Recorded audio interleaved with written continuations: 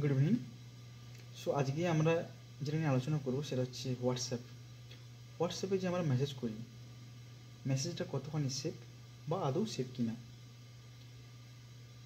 তাহলে আপনারা কিছুটা বুঝতে পেরে যাবেন যে আমরা যে মেসেজগুলো করি, সেটা কতখানি সেফ হোয়াটসঅ্যাপ এর পলিসি অনুযায়ী তারা যে টেকনিক ইউজ করে, সেটা হচ্ছে এন্ড টু এন্ড এনক্রিপশন তার মানে হচ্ছে যারা কনভারসেশন করবে, শুধুমাত্র তারাই একমাত্র ডেটাটাকে পড়তে পারবে। মানে যা মেসেজ বা যা কিছু শুধুমাত্র সেন্ডার এবং রিসিভার দুজনে দেখতে পাবে, বাকি অন্য কেউ পাবে না।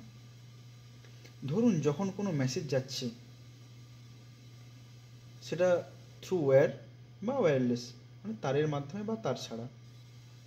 তো কেউ যদি ডেটাটাকে ক্যাপচার করে মানে ধরুন স্নিপ করে ধরুন যে ডেটা পাঠানো হচ্ছে, সেটা কোনো তারের মাধ্যমে যাচ্ছে। যদি সেটাকে স্নিপ করা হয় বা ক্যাপচার করা হয়, তার মধ্যে কিন্তু যে ডেটাটা আমরা পাঠাচ্ছি, সেটাকে পড়া যায়। এইবার হোয়াটসঅ্যাপ কীভাবে তার এই ডেটাটাকে সিকিউর করছে? সে ওইখানে এনক্রিপশন টেকনোলজি ইউজ করছে। এনক্রিপশন মানে কি? একটা মেসেজ সে একটা কি দিয়ে লক করে পাঠাচ্ছে এবং রাস্তায় যখন যাচ্ছে মেসেজটার অরিজিনাল ফরম্যাটে নেই। সে মেসেজটা ধরুন কেউ লিখলো হাই সে মেসেজটা হয়ে যাচ্ছে টু ফিফটি সিক্স বিটের হয়ে যাচ্ছে। বি সিক্স সি এরকমভাবে অনেক বড় হয়ে যাচ্ছে। এবং যার ফোনে যাচ্ছে, তার কাছে একটা সিম কি আছে। সিম হতে পারে বা অপোজিট হতে পারে। এখানে দু রকম টেকনিক ইউজ একটা হচ্ছে পাবলিক কি এনক্রিপশন আর হচ্ছে public private key encryption technology ধরুন আমার কাছে একটা কী আছে এবং তার কাছে একটা কী আছে। আমি লক করলাম, সে একটা কী দিয়ে সেই মেসেজটা খুলতে পারল। তো এই জন্য কমিউনিকেশনটাকে মোটামুটিভাবে সিকিওর বলা হয়। এইবার যদি এত সিকিওর মেসেজ হয়, তাহলে ডেটাটাকে আমরা পাবো কী করে পরে? যদি কোনো ফরেন্সিকের জন্য লাগে। তখন কি করা হয়? যে ব্যক্তি বা যে ব্যক্তিকে মেসেজ করা হচ্ছে, দুজনের যদি কারোর ফোন পাওয়া যায়, ওই ফোনটার মধ্যে থেকে পাওয়া যায় এনক্রিপশন কি সেই কি দিয়ে আমরা মেসেজটাকে ডিকোড করতে পারি। সাধারণ একটা এক্সাম্পল দিই। যখন আমরা চিঠি লিখি কাউকে, তো সেটা আমরা পোস্টম্যানের মধ্য থেকে পাঠাই। তো যদি ধরুন একটু পোস্ট কার্ড আছে, আপনি পোস্ট কার্ডের উপরে লিখে দিলেন, কিছুটা লিখে দিলেন এবং কোনো কভার খাম দিলেন না। সো সেটা নিয়ে যাচ্ছে। তো যেতে যেতে কেউ ওটাকে চুরি করতে পারে।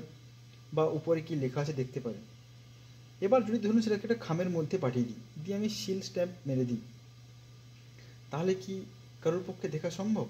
না সম্ভব না। তবে চুরি গেলে সেটা সে খুলে পড়তে পারে। কিন্তু যদি আমি এমনভাবে লিখি যেটা শুধু আমি পড়তে পারো আর যে ব্যক্তিকে পাঠাচ্ছি শুধু সেই পড়তে পারবে, তাহলে? তাহলে কি কারও কেউ যদি চুরিও করে, তার পক্ষে কি পড়া সম্ভব? কখনোই না।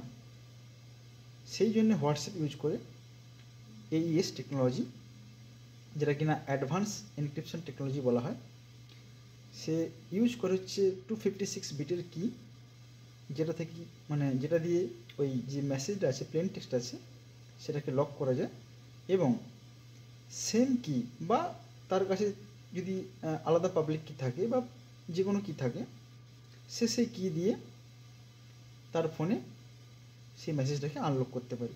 মানে ধরুন যখন ফোনে যাচ্ছে মেসেজটা যাচ্ছে, আমি যখন মেসেজ করলাম হাই এটা আমার ফোনেই লক হয়ে গেল। ওই টু ফিফটি সিক্সের কী দিয়ে লক হয়ে গেল। যখন যাচ্ছে, যদি কেউ সেটাকে স্নিপ করে বা চুরি করে ডেটাকে সে কিন্তু কোনোভাবেই ওই মেসেজটাকে পড়তে পারবে না।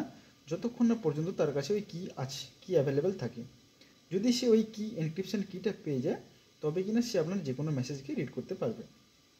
সেরকম, এইবার যার ফোনে যাচ্ছে সেই ফোন একমাত্র পারে ওই মেসেজটাকে রিড করতে। তো এখানে যে প্রোটোকলটা ইউজ করা হয়, সেটাকে বলা হয় সিগন্যাল প্রোটোকল হ্যাঁ তার নাম হচ্ছে সিগন্যাল প্রোটোকল তো আমরা যারা মোটামুটি হোয়াটসঅ্যাপে মেসেজ করি, মোটামুটিভাবে বলতে গেলে সেফ যতদিন না পর্যন্ত এনক্রিপশান কী কোড দিয়ে ডিকোড করা হচ্ছে। পরবর্তীকালে হয়তো কোনো রকম কোয়ান্টাম কম্পিউটার বা অ্যাডভান্স কম্পিউটিং যেটা কিনা মেসেজগুলোকে ডিকোড করতে পারবে। সেটা এখন পরে সম্ভাবনা আছে। কিন্তু এখন পর্যন্ত বর্তমানে যে মেসেজ পাঠানো হয়, সেগুলোকে ডিকোড করা যদি কেউ চুরি করে, সম্ভব না। এমনকি হোয়াটসঅ্যাপের পলিসি অনুযায়ী, তাদের সার্ভারেও যে মেসেজগুলো জমা থাকে, সেগুলো কিন্তু ওই কী আকারে? মানে ধরুন আপনি যে মেসেজটা লক হয়ে আছে লক করলেন, সেই লক আকারে জমা হয়ে আছে মানে জমা থাকে। এইবার তারাও কিন্তু চাইলে যে মনে করছেন যে যদি মনে করে হোয়াটসঅ্যাপ আমার ডেটাটাকে পড়তে পারে যে আমি মেসেজ পাঠাচ্ছি বা যে- কোনো কিছু পাঠাচ্ছি, সেগুলো কি দেখতে পারে? তো এটার উত্তর হচ্ছে বর্তমানে না, তাদের পলিসি অনুযায়ী। এবার যদি তাদের কাছে কোনো রকমভাবে ওই কিটা অ্যাভেলেবেল থাকে কিটা অ্যাকচুয়ালি অ্যাভেলেবেল থাকা সম্ভব নয় এবার থাকতেও পারে।